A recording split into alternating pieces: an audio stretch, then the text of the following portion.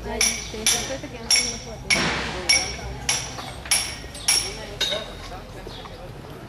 Meu Deus.